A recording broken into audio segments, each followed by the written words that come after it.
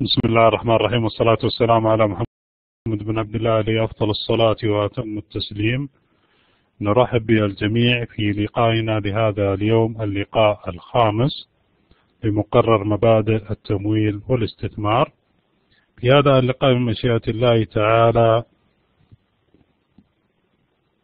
بعد أن تعرفنا في اللقاء الماضي عن مصادر التمويل قصيرة الأجل. في هذا اللقاء سنتعرف مع بعضنا البعض من مشيئة الله تعالى عن مصادر التمويل طويلة الأجل. ولكن قبل أن نبدأ نود أن نتأكد من أن الصوت مسموع وواضح لدى الجميع. صار الصوت مسموع وواضح لدى الجميع يا أخوة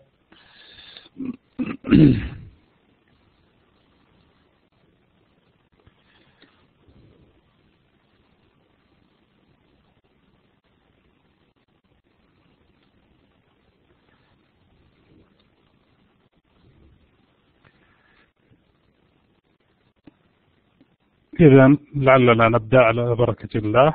كما تعودنا في اللقاءات الماضية آمل من الجميع عدم المقاطعة والكتابة على الشات إلا عند الضرورة عند انقطاع الصوت أو الخلل التقني. ما عدا ذلك آمل من الجميع عدم المقاطعة وذلك ليتسنى للجميع المتابعة والفهم للمقرر بالشكل الجيد وسنتيح الفرصة لطرح الأسئلة قبل نهاية اللقاء ونطرح الكوز بمشيئة الله تعالى قبل نهاية هذا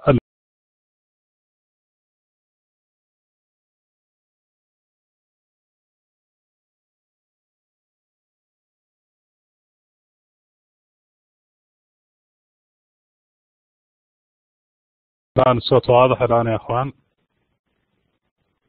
الصوت واضح؟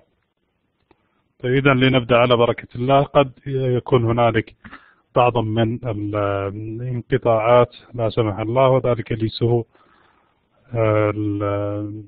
التقنية اليوم مع الأجواء. فلعلنا نبدأ. على بركة الله يا أخوان نبدأ بمصادر التمويل طويلة الأجل والمصدر الأول من آه هذه المصادر هو السندات. والسندات تعتبر قرض طويل الأجل يستحق الدفع على فترات محددة ويحمل سعر ثابت للفائدة. وبما أنه له سعر فائدة ثابت فبالتالي يعتبر محرم شرعا ويجب عدم التعامل به مطلقا ولكن كما وضحنا ذلك في ما سبق للعلم بالشيء فقط. نأخذه هنا للعلم بالشيء وتجنبه. وبهذا تقوم المنشأة بدفع قيمة السند عند استحقاق هذا السند علاوة على دفع الفوائد حسب ما تم الاتفاق عليه. ويختلف السند عن باقي أنواع القروض الأخرى من حيث أنه يباع على فئات للجمهور العادي أو المؤسسات المالية. إلا أن القروض المصرفية عادة تعطى أو تقدم من قبل البنوك أو المؤسسات المالية.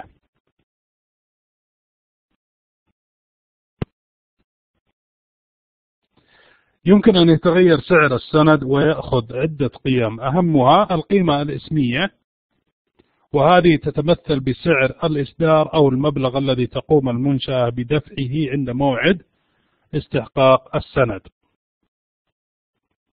والقيمة السوقية وهي القيمة المتغيرة التي يستحقها السند في السوق المحلية. ونلاحظ أن هنالك علاقة بين القيمة السوقية للسند وسعر الفائدة السائد في السوق. فكلما ارتفعت أسعار الفوائد بدرجة أكبر من الفائدة التي يحملها السند عادة تميل القيمة السوقية إلى الانخفاض وذلك لاتجاه المستثمرين إلى بيع السندات. وذلك للحصول على أكبر قدر ممكن من الأرباح. وعلى العكس من ذلك في حال الانخفاض اللي الفوائد السائدة في السوق بدرجة أكبر من الفائدة التي يحملها السند فإن القيمة السوقية للسند تميل إلى الارتفاع وبهذا تكون هنالك علاقة عكسية.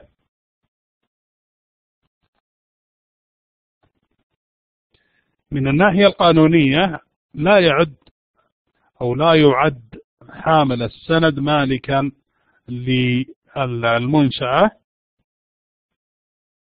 حيث أنه دائن لها بمبلغ محدد ويسدد في فترة معينة. وبهذا فلا يحق لحامل السند المطالبة بالاشتراك في الإدارة أو التصويت. طالما أن المنشأة ملتزمة بعمليات السداد بانتظام. بينما في حالة الإفلاس للشركة فيحق لحامل السند التدخل في شؤون المنشأة وذلك لضمان حقه.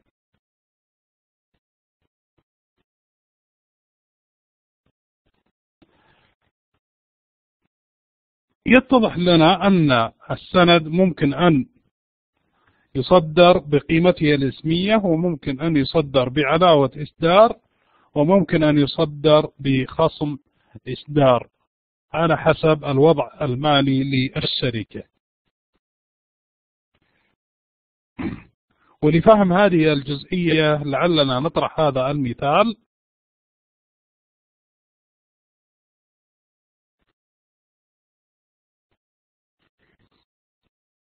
لفهم كيفية حساب تكلفة الدين في حال تم إصدار هذه السندات إما بقيمة اسمية أو بعلاوة إصدار أو بخصم إصدار.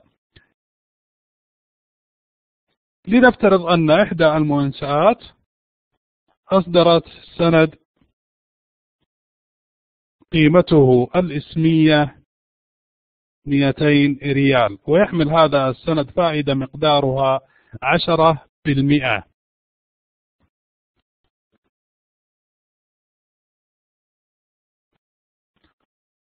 ويتم سداد هذا السند بقيمته الاسمية عند انقضاء فترته والبالغة بخمس سنوات.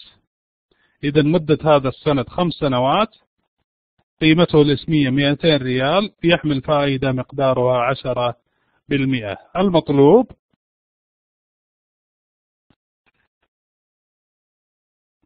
حساب تكلفة الدين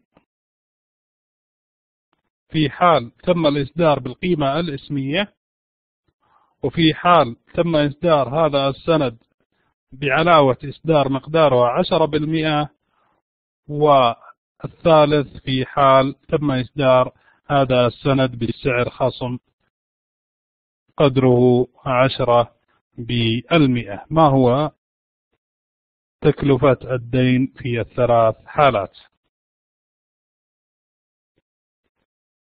لحساب مثل هذا لتكلفة الدين هنالك قوانين تطبق مباشرة.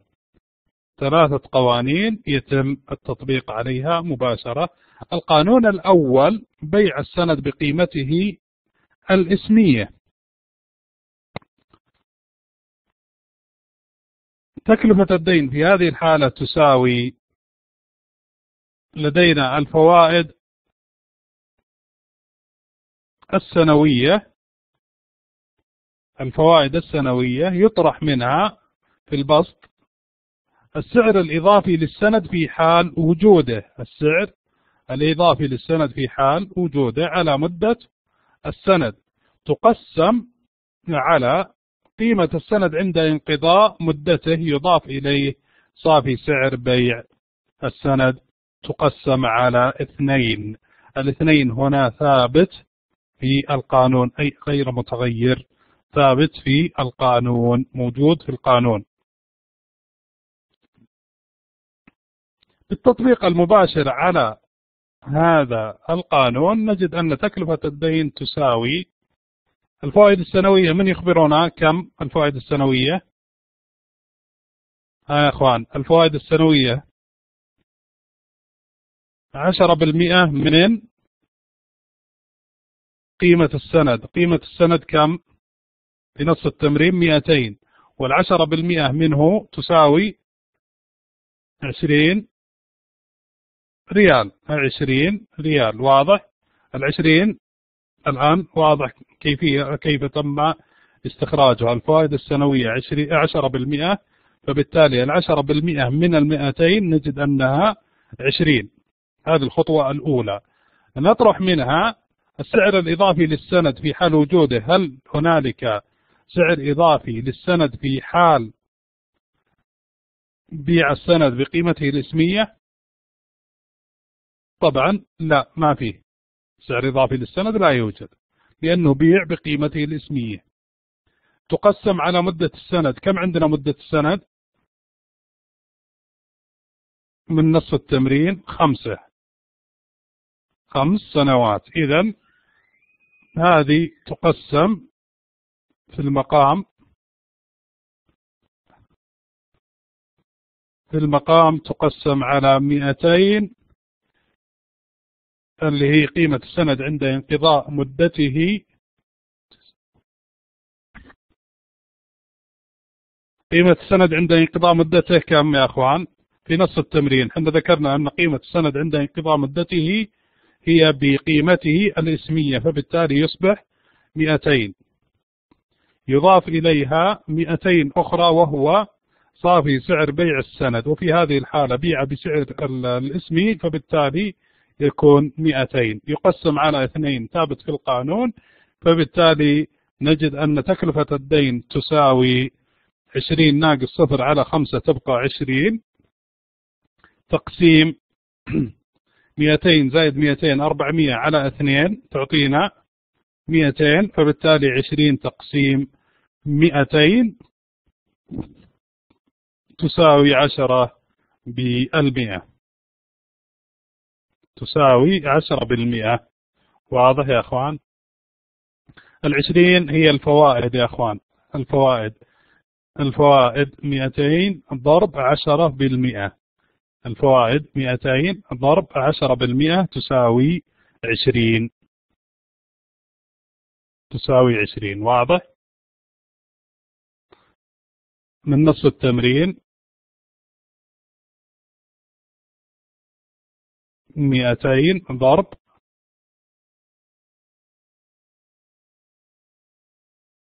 عشرة بالمئة. نجد أنها عشرين. اثنين قلنا ثابت في القانون. اثنين ثابت بالقانون في نص القانون. طيب. هذا الحالة الأولى في حال بيع السند بقيمته الاسمية.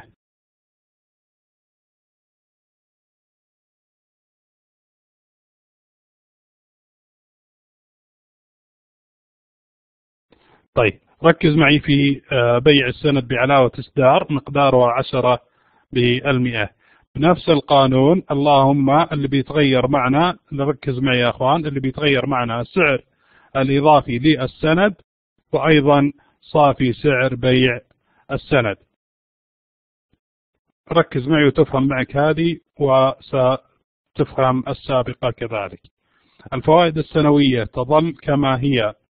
الفوائد السنوية ستظل كما هي سواء بيع بقيمته الاسمية أو بعلاوة الإصدار. فبالتالي هنا القيمة الفوائد السنوية ستصبح 20 اللي هو 200 ركز معي يا أخوان 200 ضرب العشرة بالمئة تساوي عشرين.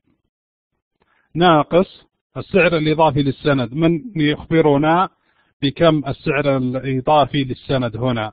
في حال بيع بعلاوة إصدار عشرة بالمئة.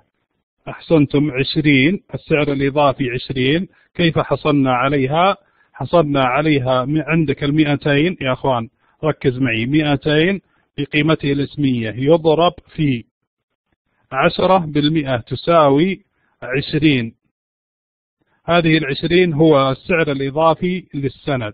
نقوم بإضافتها لسعر بيع السند بقيمته الاسمية 200 زائد 20 تصبح 220 وهو صافي سعر بيع السند وهو صافي سعر بيع السند.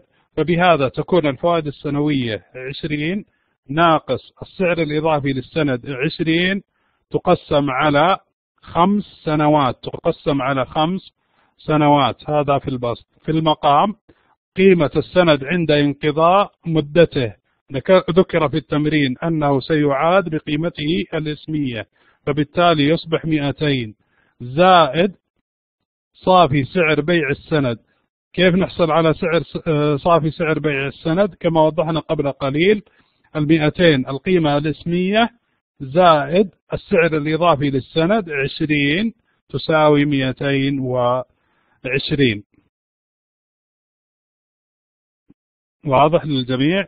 تطبيق مباشر عشرين ناقص عشرين على خمسة تقسم على مئتين زائد مئتين وعشرين على اثنين فبالتالي تصبح ستة عشر في البسط. على مئتين وعشرة. على مئتين وعشرة تعطينا سبعة فاصلة ستة بالمئة. سبعة فاصلة ستة بالمئة. واضح يا أخوان؟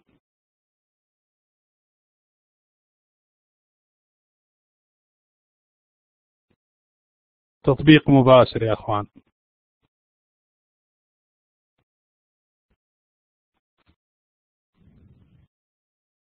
طيب نعيد هذه الجزئية نعيدها مرة أخرى وآمل من الجميع التركيز فيما يتم قوله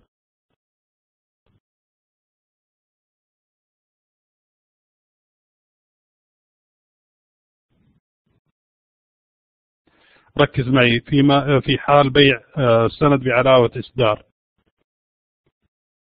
الفوائد السنوية يا أخوان من من يخبرنا عن الفوائد السنوية كم؟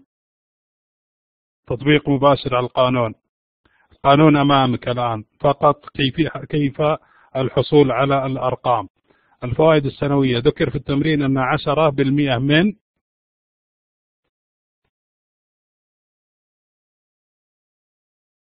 من المئتين. عشرة بالمئة من المئتين.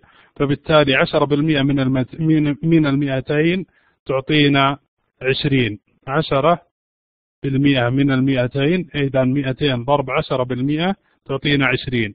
وأظهر للجميع هذه الخطوة الأولى. الخطوة الثانية السعر الإضافي للسند. ذكرنا في القيمة الاسمية صفر. سعر إضافي ما فيه في القيمة الاسمية؟ بينما في علاوة الإصدار عشرين. كيف جبنا العشرين؟ نفس المسألة. مئتين قيمة السند يضرب في العلاوة اللي هي عشرة بالمئة. يضرب في العلاوة اللي هي على عشرة بالمئة. تعطينا عشرين كذلك. واضح؟ مئتين ضرب عشرة بالمئة تعطينا عشرين. نقوم بتقسيمها على مدة السند. معطى في التمرين. مدة السند كم يا أخوان؟ في نصف التمرين. خمسة. نقوم بتقسيمها. هذا في هذا الكلام كله في البسط. المقام. نأتي عند المقام الآن. قيمة السند عند انقضاء مدته ذكر في التمرين أنه يعاد بقيمته الإسمية. قيمته الإسمية كم؟ 200 يضاف إليه صافي صافي سعر بيع السند. بيع بعلاوة إصدار مقداره عشرة بالمئة فبالتالي نضيف العشرة بالمئة على المئتين تصبح مئتين وعشرين. تصبح مئتين وعشرين. تقسم على اثنين ثابت في القانون. اثنين ثابت في القانون. تطبيق مباشر.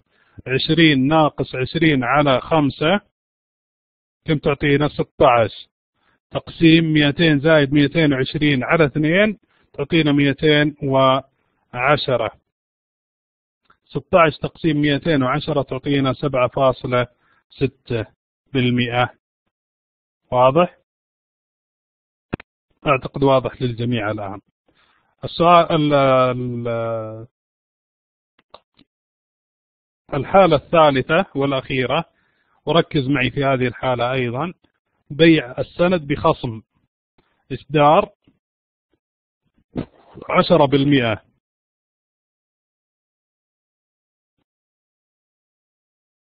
بدلا من أن تكون الإشارة في البسط الفوائد السنوية ناقص تكون إيش؟ موجب. تكون موجب وباقي القانون كما هو. فقط الإشارة تتغير في البسط. بدلا من كونها بالناقص تكون بالموجب. ونقوم بالتطبيق المباشر على القانون. الفوائد السنوية تظل كما هي. الفوائد السنوية تظل كما هي سواء بخصم أو بعلاوة إصدار أو بالقيمة الاسمية. تظل كما هي عشرين. نضيف لها الخصم على سعر السند بحكم أنه هنالك خصم عشرة بالمئة من المئتين وبالتالي تصبح مئتين ضرب عشرة على المئة. تعطينا كم يا أخوان؟ عشرين. أحسنتم. الخصم على سعر السند عشرين. نقوم بتقسيمها على مدة السند. مدة السند كم يا أخوان؟ خمس سنوات. هذا في البسط. في المقام قيمة السند عند انقضاء مدته ثابتة في ثلاث حالات. كم؟ مئتين. أحسنتم. يضاف إليها صافي سعر بيع السند. في حال بيع السند بخصم إصدار عشرة بالمئة فبالتالي يصبح كم هنا؟ أحسنتم 180 كيف حصلنا عليها يا أخوان 180 200 ضرب عشرة بالمئة تساوي 20 نقوم بطرح هذه العشرين من المئتين. مئتين ناقص عشرين تعطينا مئة وثمانين. مئة وثمانين. بعكس علاوة ال ال ال الإصدار. علاوة الإصدار نضيفها خصم الإصدار نطرحها. إذا المحصلة النهائية عندنا يا أخوان أربع أو خمس مرات يا أخوان تطبيق مباشر. الله يحفظك يا أخوي. تطبيق مباشر. وبالتالي الفوائد هنا عشرين. نضيف لها عشرين تقسيم خمسة. تقسم على مئتين. قيمة السند عند انقضاء مدته. يضاف إليها صافي سعر بيع السند اللي هو بخصم إصدار فيصبح 180 تقسيم 2 يعطينا 24 تقسيم 190 تساوي 12.6 بالمئة. 12.6 بالمئة. واضح يا أخوان؟ واضح للجميع الآن. أعتقد إن شاء الله واضح للجميع. تطبيق مباشر القانون الأول القيمة الاسمية والقانون الثاني بعلاوة الإصدار نفس القانون ولا يتغير شيء جميع الإشارات نفسها. الثالث بخصم الإصدار فقط الإشارة تتغير في البسط من كونها سالب تصبح موجب.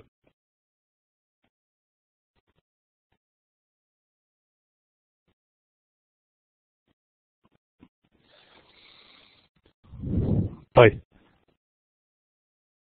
هنالك بعض من المزايا والعيوب من وجهة نظر كل من المستثمر شاري السند والشركة بائعة السند. نذكرها من وجهة نظر المنشأة. نبدأها أولا من وجهة نظر المنشأة.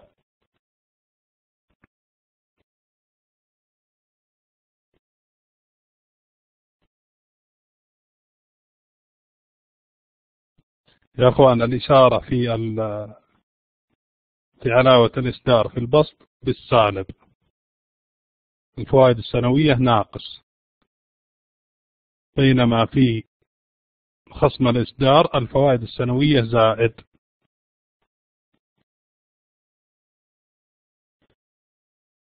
واضح؟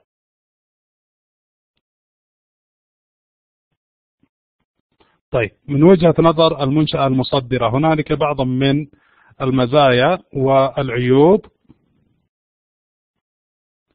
المزايا يمكن للمنشأة خصم الفوائد المدفوعة على السندات من الضرائب التي قد تدفعها للحكومة وذلك لكونها دين على المؤسسة. الإدارة قد يكون لها حرية التصرف كون حاملي هذه السندات لا يشتركون في عمليات التصويت والحضور للجمعيات لهذه المؤسسة.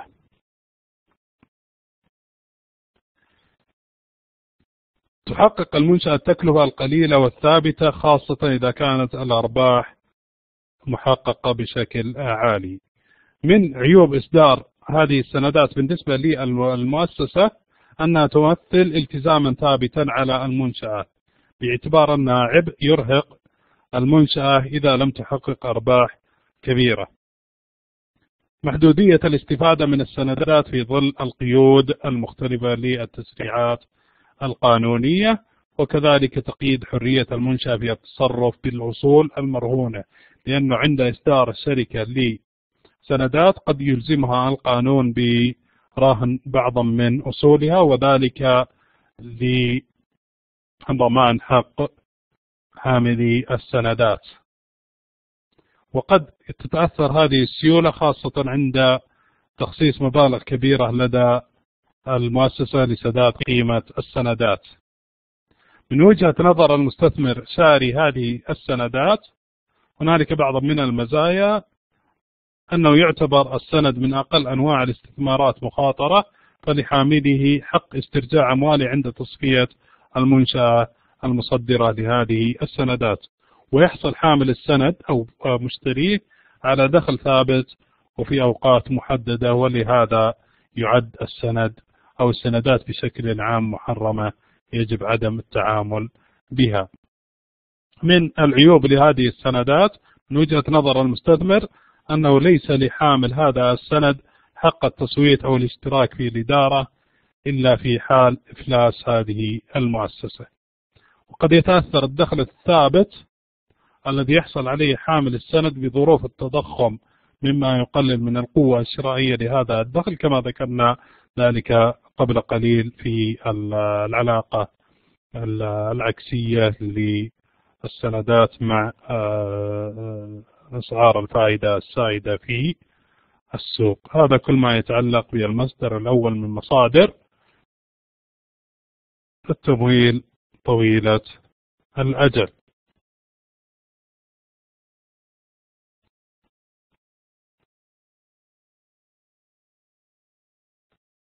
طيب. لعلنا ننتقل الآن للحديث عن المصدر الثاني من مصادر التمويل طويلة الأجل ألا وهو القروض المصرفية طويلة الأجل.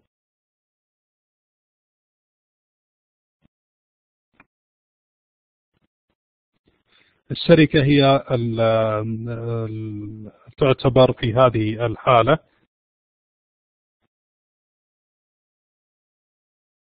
فيما يتعلق بالسندات يا أخوان.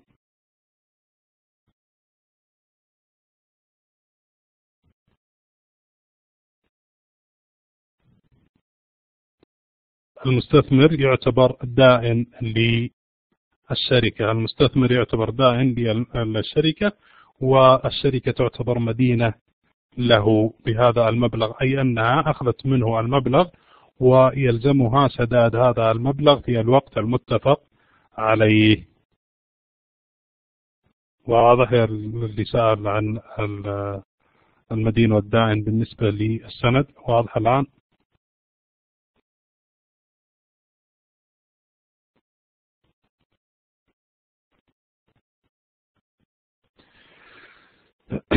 طيب فيما يتعلق بالقروض المصرفية إحنا ذكرنا أن هنالك الائتمان المصرفي والائتمان المصرفي ذكرنا أنه أحد مصادر التمويل قصيرة الأجل بكونه آه، لفترة زمنية تقل عن السنة أو لا تزيد عن السنة.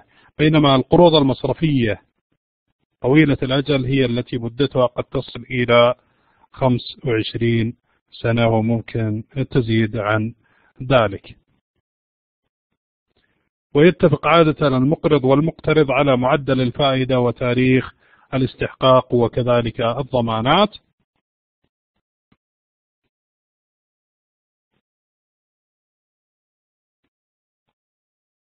والمدد الزمنية المتفق عليها للسداد. المصدر الثالث من مصادر التمويل ألا وهو الأسهم العادية. وهذا النوع من مصادر التمويل طويلة. الأجل يعتبر أكثر الأنواع شيوعا وهو عبارة عن حصة في ملكية المنشأة تخول لصاحبها الحصول على الأرباح بعد سداد المنشأة للالتزامات للآخرين وذلك في حال حققت هذه المؤسسة أرباحا. ويمكن للسهم أن يتقلب مع الزمن بين قيم ثلاث القيمة الاسمية وهي القيمة المنصوص عليها. ركز في هذه الثلاث جزئيات يا أخوان. القيمة الاسمية هي القيمة المنصوص عليها في عقد تأسيس المنشأة وعلى أساس هذه القيمة يتم توزيع الأرباح كنسبة مئوية منها. وكثيرا ما تنص التشريعات القانونية على إلزام المنشآت بحد أدنى كقيمة إسمية للسهم. مثلا عشرة ريالات للسهم الواحد. القيمة السوقية وهي القيمة التي يتم التعامل بها في السوق المالية. وهذه القيمة تعتبر قيمة كثيرة التذبذب بالمقارنة بالقيمة الإسمية التي تظل عادة ثابتة.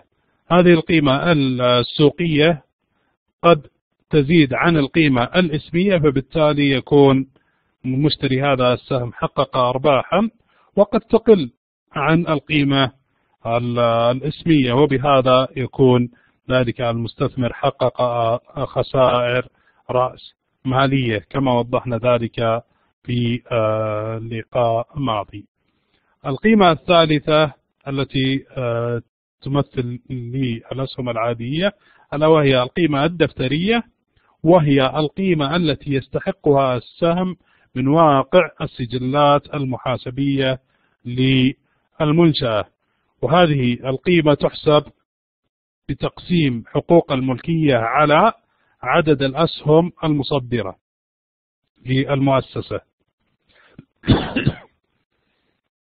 إذا القيمة الدفترية للسهم تساوي حقوق الملكية تقسيم عدد الأسهم المصدرة. وتتمثل حقوق الملكية في كل من رأس المال المدفوع كذلك الاحتياطيات والأرباح المحتجزة. وهذه القيمة تتغير باستمرار.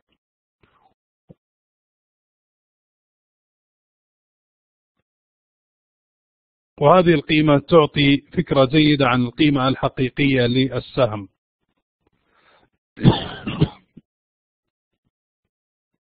هنالك بعض من المزايا والعيوب للأسهم العادية. من المزايا الحق في التصويت وكذلك الحق في المشاركة في الربحية لحامل الأسهم العادية وأيضا المشاركة في أصول المنشأة. ففي حال تصفية المنشأة يتم سداد الالتزامات للسندات أول ومن ثم الأسهم الممتازة التي سنشرحها في الحلقة أو في اللقاء القادم من مشيئة الله تعالى وكافة الدائنين ومن ثم في حال بقاء بعض من الأصول يتم توزيعها على حملة الأسهم العادية. لحملة الأسهم العادية الحق في البيع والشراء لهذه الأسهم متى ما أراد في البورصة أو فيما يسمى لدينا هنا بتداول.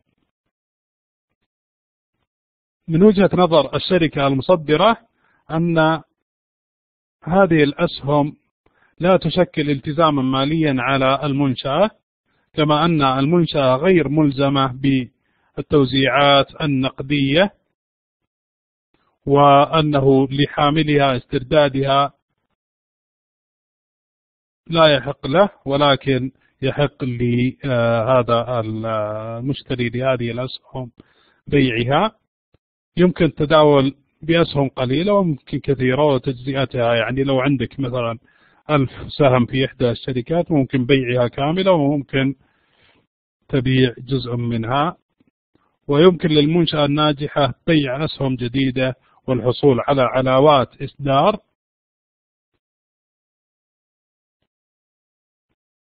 إلا أن هنالك بعض من العيوب لإصدار الأسهم العادية. أهمها احتمال فقدان السيطرة. ليش؟ لأنه من حق حاملي الأسهم. حضور الجمعيات والتصويت أنه لا يحق خصم الأرباح الموزعة على المساهمين من الزكاة والضريبة بعكس السندات. ليش؟ لأن آه، الأسهم لا تعد نفقة بينما السندات تعد نفقة. تعتبر تكاليف إصدار الأسهم أكبر من تكاليف إصدار السندات. أيضا تحد الأسهم من قدرة المنشأة على المتاجرة بالملكية فهي لا تحمل عائدا ثابتا. واضح؟ هنالك بعض من الفروقات الجوهرية بين السندات والأسهم. من ضمن هذه الفروقات أن السندات تعتبر قروض ولكن بشكل آخر بينما الأسهم تكون مشارك للشركة في آه، وصولها. التوزيعات كما ذكرنا قبل قليل أن السندات توزع عادة آه، توزيعات ثابتة بينما الأسهم آه، حسب ربحية الشركة وكذلك حسب سياسة هذه الشركة. السندات فيما يتعلق بها الحقوق أنه ليس لها الحق في حضور الجمعيات سواء العمومية أو غير العمومية بينما الأسهم يحق لهم ذلك. فيما يتعلق بالمخاطرة فيما يتعلق بالسندات مخاطرتها أقل من الأسهم وذلك لاحتوائها على الفائدة الثابتة. وبالتالي فهي أقل خطر من الأسهم بشكل كبير. وهنا تصبح هذه السندات محرمة لكونها تحمل هذه الفائدة ويجب على المسلم عدم التعامل بها. فبالتالي هنا العائد كما ذكرنا أنه آه، عادة فيما يتعلق بالسندات تكون العوائد لها على قيمتها الإسمية مباشرة بينما الأسهم تكون لها عوائد إما رأس مالية كما ذكرنا في حال بيع السهم بسعر أعلى من سعر الشراء وأيضا عائد جاري كما ذكرنا ذلك في لقاء آه، ماضي عوائد جارية في حال التوزيعات. هذا كل ما يتعلق بالأسهم والسندات والقروض ولعلنا نكتفي بهذا القدر. وذلك الإجابة عن أي سؤال قد يتبادر إلى ذهن أي منكم في هذا اللقاء. فمن لديه أي سؤال فليتفضل يا أخوان.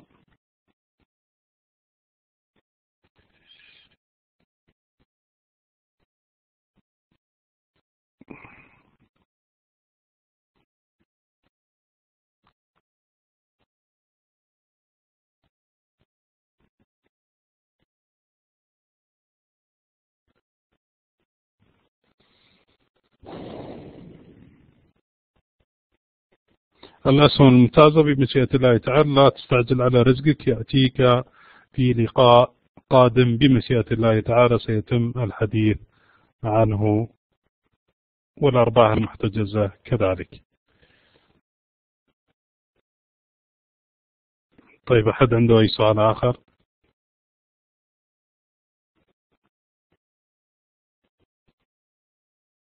الأسهم لها توزيعات أرباح توزيعات أرباح.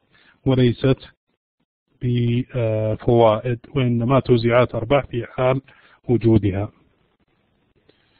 نعم معنا قانون القيمة الدفترية كما وضحناه قبل قليل. ما أقدر أفيدك اختصارا بما يتعلق بهل هي آه، مباح أم غير مباح فيما يتعلق بالأسهم؟ لا أقدر أفيدك لكن الشيء الواضح بشكل صريح ممكن القول عنه مثل السندات محرمة. أما الأسهم لا, لا علم لي بها من ناحية الحلال أم الحرام. طيب أي سؤال آخر يا أخوان؟ أي أسئلة أخرى يا أخوان؟ لعلنا نؤجل ال quiz في هذا اللقاء للقاء القادم وذلك لازدحام الوقت معنا في هذا اللقاء فسيكون ال quiz بمشيئة الله تعالى في اللقاء القادم بمشيئة الله تعالى. الأسهم اللي بناخذها إحنا نوعين الأسهم الممتازة والأسهم العادية. وضحنا الأسهم العادية في هذا اللقاء والأسهم الممتازة سنوضحها في اللقاء القادم بمشيئة الله تعالى.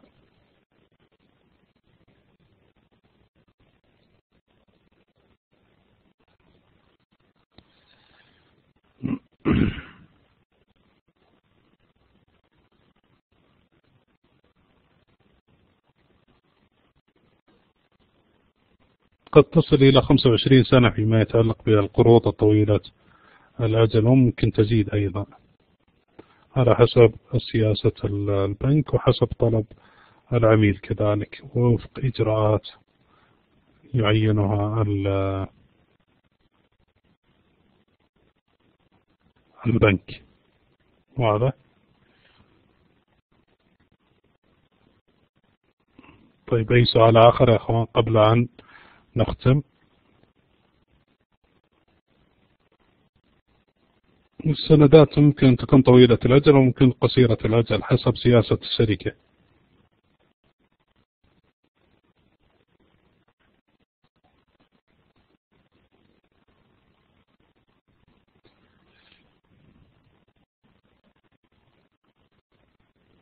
رأس المال العامل هو المستخدم. رأس المال العامل الذي يتم استخدامه بالشكل الفعلي. قد يكون هنالك رأس مال لدى الشركة عالي ولكن المستخدم فعلي هو رأس المال العامل. واضح؟ المستخدم يعني.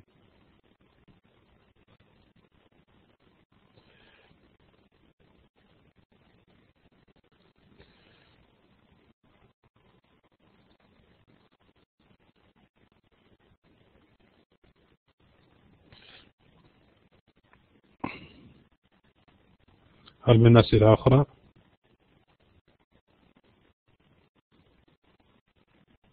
القيمة الاسمية عند تأسيس الشركة يا أخوان ذكرناها عند تأسيس الشركة بينما القيمة الدفترية هي القيمة التي يستحقها السهم من واقع السجلات المحاسبية بعد إنشائها يعني واضح؟ طيب بهذه الجزئية نكون وصلنا وإياكم إلى نهاية هذا اللقاء متمنيا للجميع دوام التوفيق في الدارين. هذا وصلى الله وسلم على سيدنا ونبينا محمد أفضل الصلاة وأتم التسليم. والسلام عليكم ورحمة الله وبركاته.